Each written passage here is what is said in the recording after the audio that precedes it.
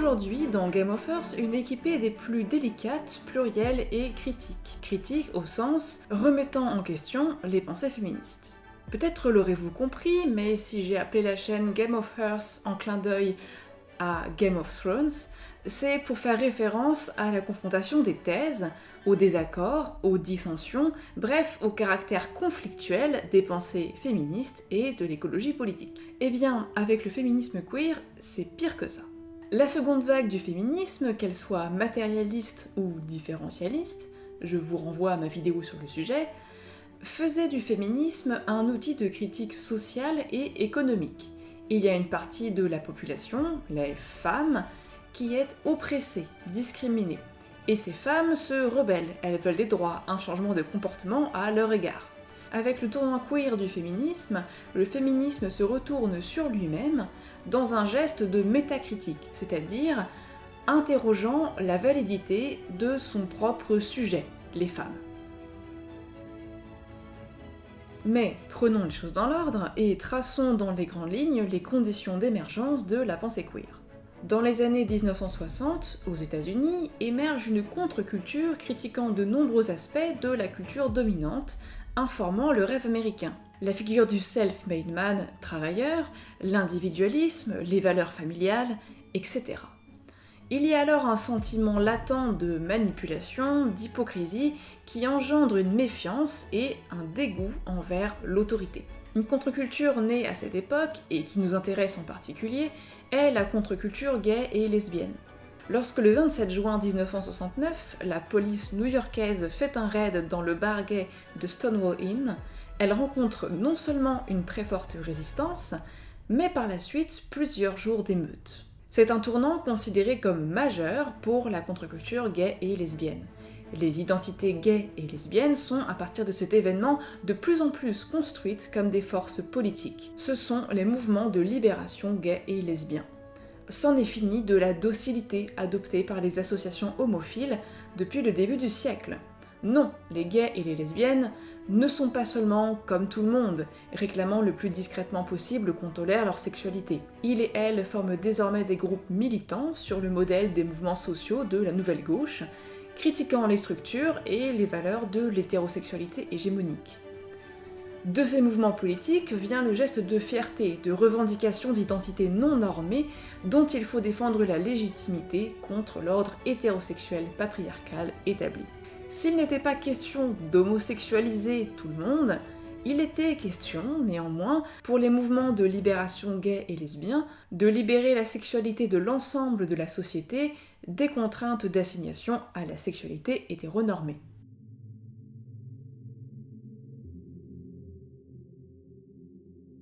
Mais cet élan révolutionnaire a fini par s'essouffler.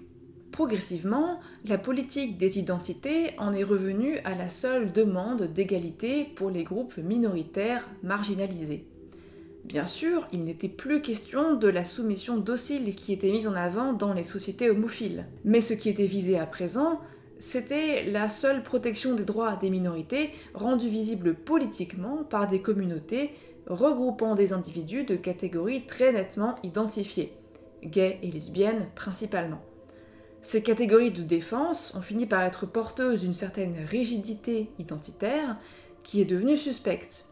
Ces identités auraient été porteuses d'une nouvelle normativité, excluant à leur tour d'autres minorités.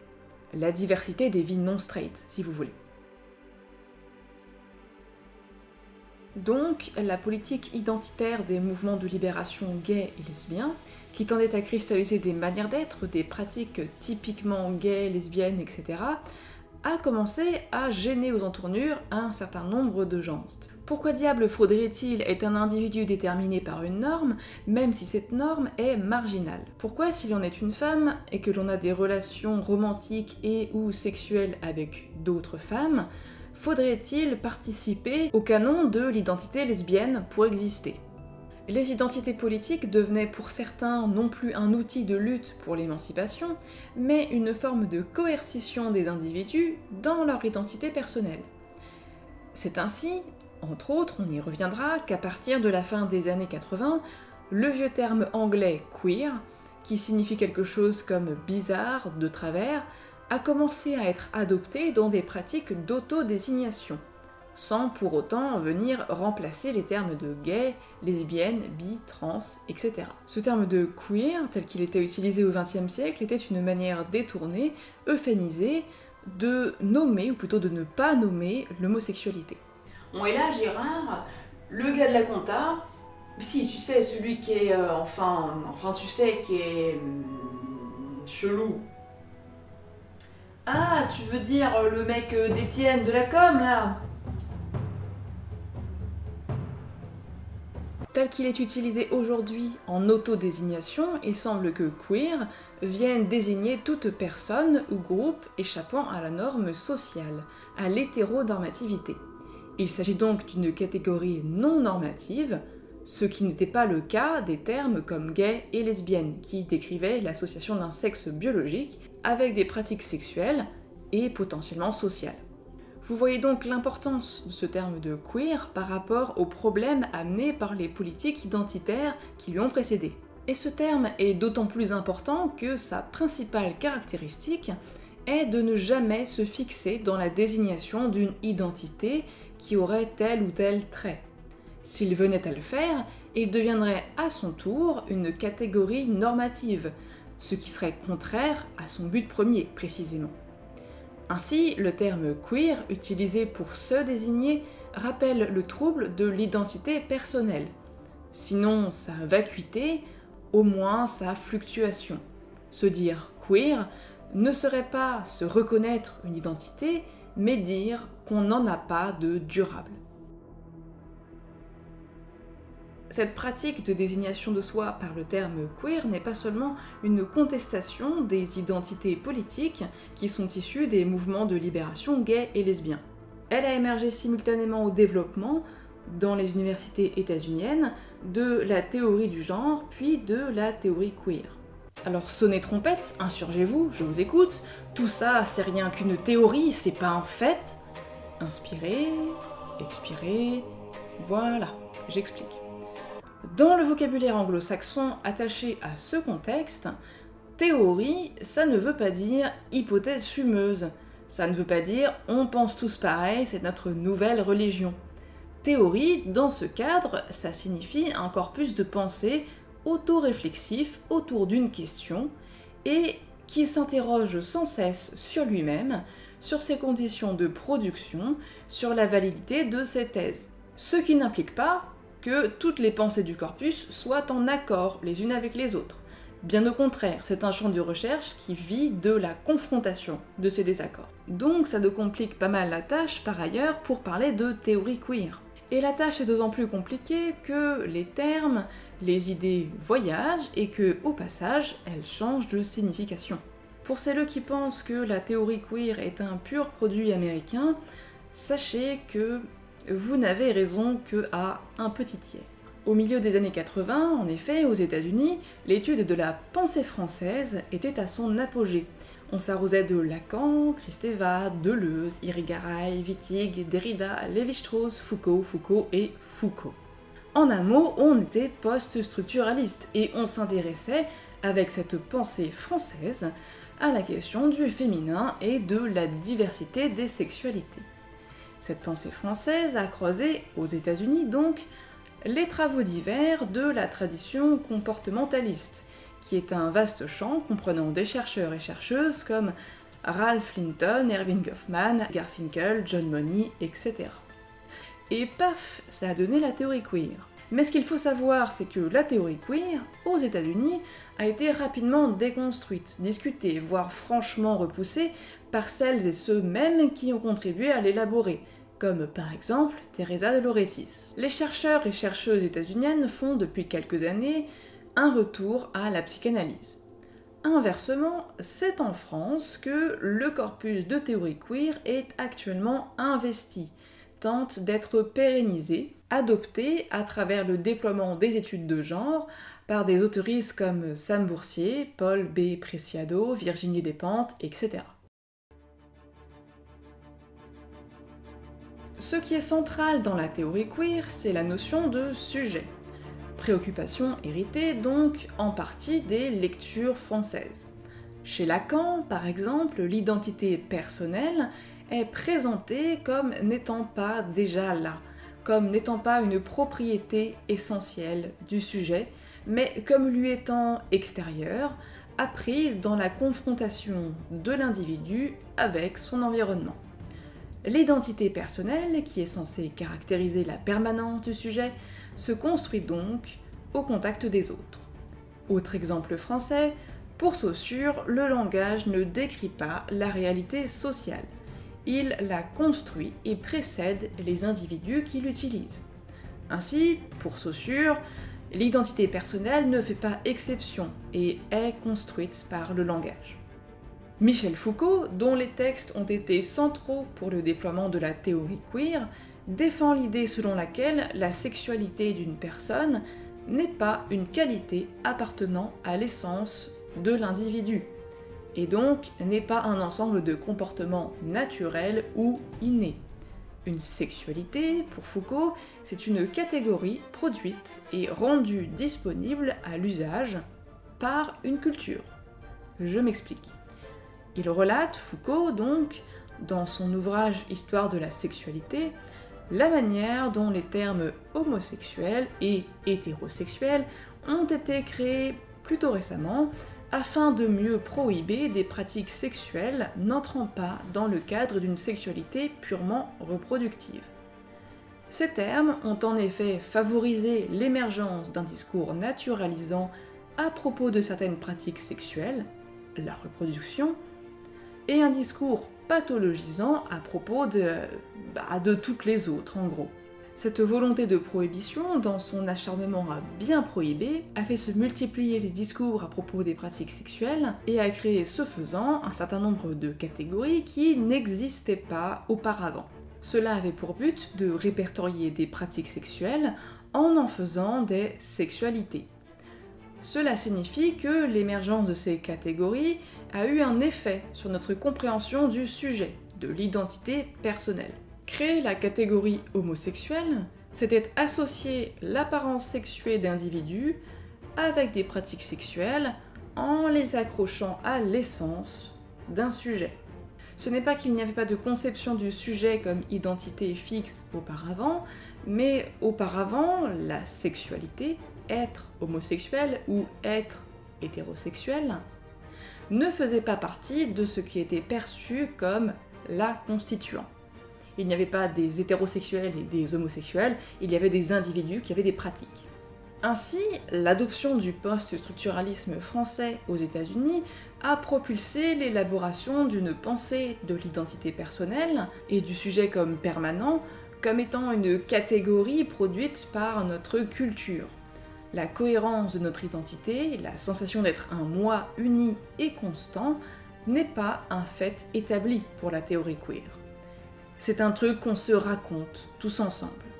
Et c'est comme ça que l'on crée des types.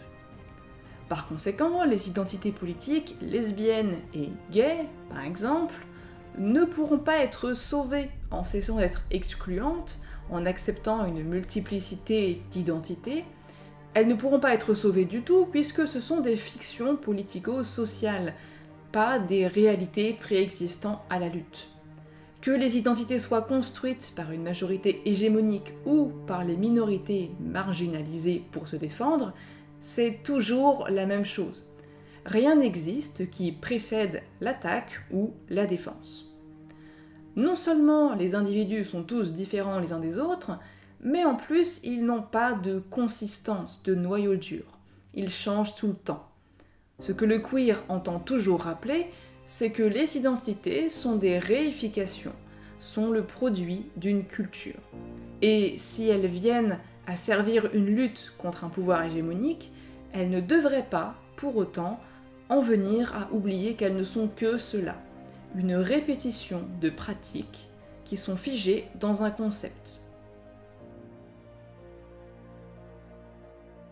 Je vous disais tout à l'heure que la pensée française a croisé la tradition d'analyse comportementaliste américaine. Le comportementaliste américain a produit un certain nombre de théories diverses, plus ou moins intéressées aux questions de sexe, de genre et de sexualité. On note parmi elles la Role Theory de Ralph Linton ou celle d'Erving Goffman. Pour la Role Theory, vivre en société, c'est se voir donner un rôle en tant qu'individu, en fonction de différents paramètres. L'observation du sexe gonophorique externe, l'entrejambe quand vous naissez, fait partie de ces paramètres, bien sûr. Et ce rôle, il faudra le jouer dans nos interactions avec autrui, comme on joue un rôle dans une pièce de théâtre. On prend des attitudes, on se voit attribuer certaines tâches et pas d'autres, etc. La performance du rôle vient former ce qu'on considère être notre identité personnelle, nous en tant que sujet. On s'identifie donc à un rôle social. C'est dans un coin de cette role theory que le concept de genre a commencé à prendre le sens qu'on lui connaît. Le genre comme dimension sociale des rapports de sexe. Le genre comme mascarade, mise en scène de soi d'un point de vue sociologique. Généralement, on rattache en effet l'émergence de la gender theory au médecin John Money, qui a travaillé dans les années 50 à l'étude des personnes intersexes, c'est-à-dire des personnes dont le sexe gonophorique externe, l'entrejambe donc, est ambigu selon la norme médicale. Je précise qu'en tant que médecin, l'approche de Money a été celle de la pathologisation et du redressement normatif.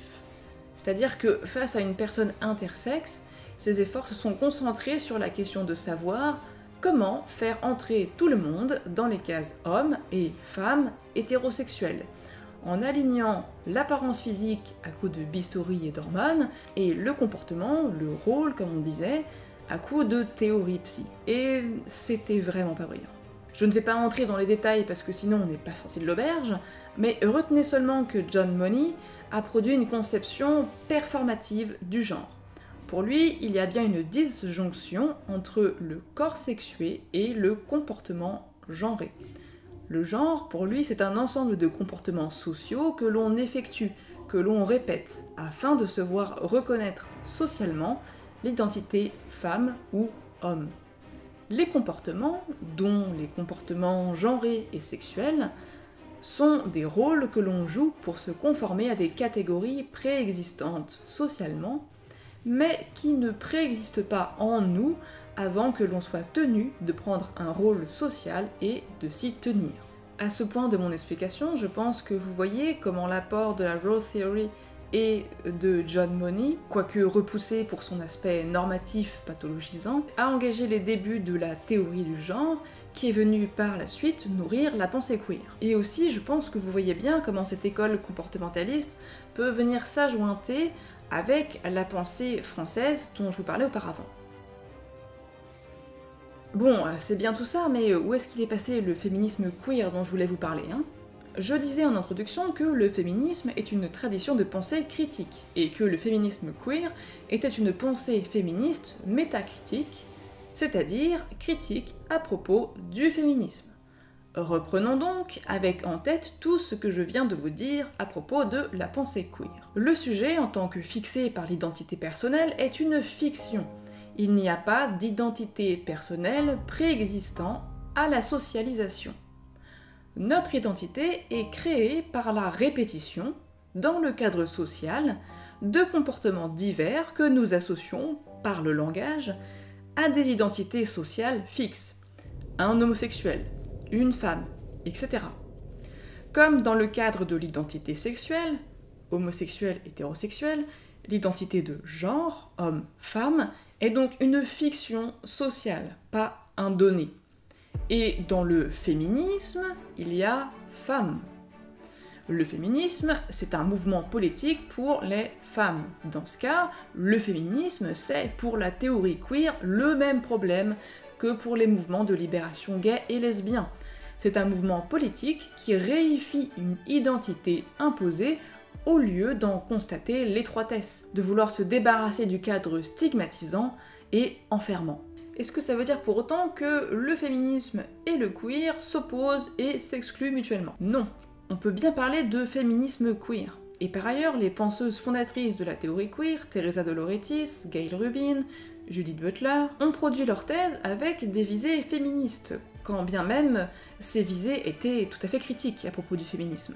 Il s'agit, avec le féminisme queer, de se rendre compte que le sujet politique du féminisme, les femmes, est la production essentialiste d'un système normatif en matière de comportement genré et de pratiques sexuelles. Les femmes sont comme si, elles se comportent comme ça, et elles couchent avec des hommes. Le féminisme queer vise donc non pas à atomiser une lutte en faisant disparaître la catégorie qui la sous-tend, mais à mener cette lutte en conscience du caractère fictif de l'identité personnelle, et donc de l'identité politique qui est dite en découler de cette identité personnelle.